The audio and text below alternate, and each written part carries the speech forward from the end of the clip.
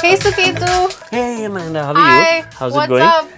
Good to see you. Yep, long time. Never seen Okay, you great. too. Well, we have cookies Thank for you you, very from much. Cookie. So, what are you working on? Uh, well, this is this new track that Akil and me are doing. Okay. And uh, we just got the master going on right now. So just checking Alright. it out and making sure everything is good for a release in August. I'm going to distract you a bit from this project. No problem. So, I at hope all. you don't mind. Absolutely. So, Suketu इतने सालों से आप बहुत सारा काम कर रहे हैं म्यूजिक इंडस्ट्री में आपने इंडस्ट्री को बदलते हुए कैसे देखा करीब 12-13 साल पहले रीमिक्सेस इंडी पॉप म्यूजिक बहुत ही पॉपुलर था लोग उनको उसको अप्रिशिएट करते थे वो क्लब्स में बजता था गाड़ियों में बजता था people just like to listen to it लेकिन अभी मुझे लगता है कि ट्रेंड पूरा शिफ्ट हो गया है सब कुछ बॉलीवुड ओरिएंटेड ही हो गया है। अगर कोई अच्छा गाना भी है इंडी पॉप का वो शायद थोड़ा ओवर हो जाता है क्योंकि सब लोगों को सिर्फ़ वो एक बॉलीवुड एस्पेक्ट चाहिए गाने में। तो that is I think that is the biggest shift I seen और उसके अलावा आई थिंक मुझे लगता है टेक्नोलॉजिकली वाइज और प्रोडक्शन वाइज इंडियन गाने आप पहले सुनते हो और अभी जो आप सुनते हो जैसे नए म्यूज़िक डायरेक्टर्स भी है विशाल शेखर और सब वो जो साउंड्स भी बनाते हैं और जो म्यूज़िक बनाते हैं वो बहुत ही इंटरनेशनल क्वालिटी का है।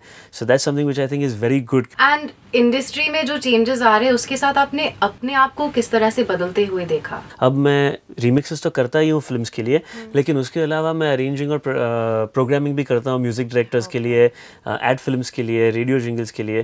तो that is another aspect of the industry जो मुझे पहले पता नहीं था।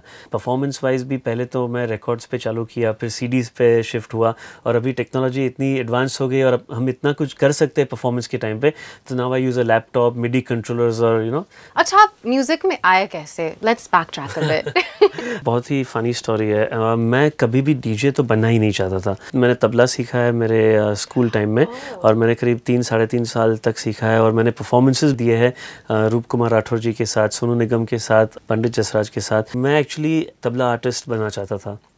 लेकिन जब भी स्कूल ख़त्म हुआ और मैं एचआर कॉलेज में मैंने एडमिशन लिया सब क्राउड जो है लड़के लड़कियाँ उनको डीजे से ज़्यादा प्यार होता है और डीजे ज़्यादा पसंद है और तबला आर्टिस्ट एक साइड में ज़्यादा है। तो उस टाइम हुसैन आया था हमारी कॉलेज में म्यूज़िक बजाने के लिए और I was in charge of looking after him students council में से।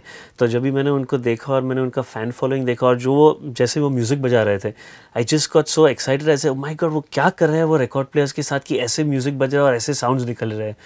सो आई सेड मैं एक भी एक शॉट देता हूँ एक चांस लेता हूँ क्या पता क्या हो जाए. And next thing you know one thing led to another और बीकॉम के बाद में मेरा ये फुल टाइम प्रोफेशन हो गया।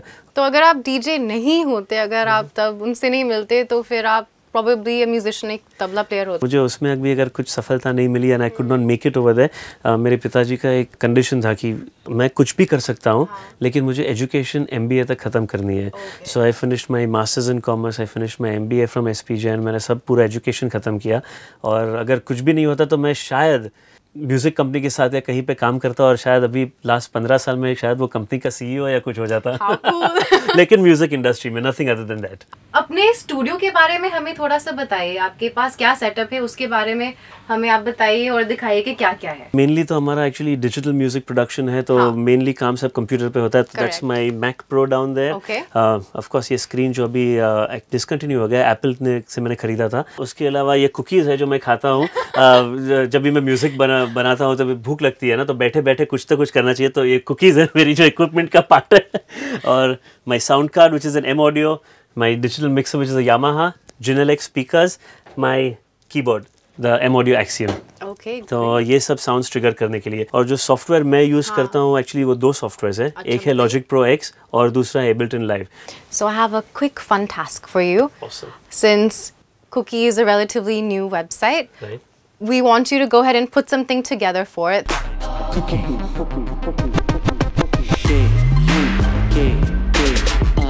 I oh yeah so something like that so let's see we'll try to get something good you guys better look out for it because there's going to be a nice 30 second of a cookie just coming up thank you very much for uh, you know making me uh, a part of the interview आपको ऐसा. लगता तो है कि चलो एक musician है जिसको थोड़ा बाहर निकालना चाहिए उनका थोड़ा पर्सनल लाइफ क्या है वो दिखाना चाहिए so I'm glad glad that you called me and I'm glad this could work out Thank you so much. आपने time निकाला.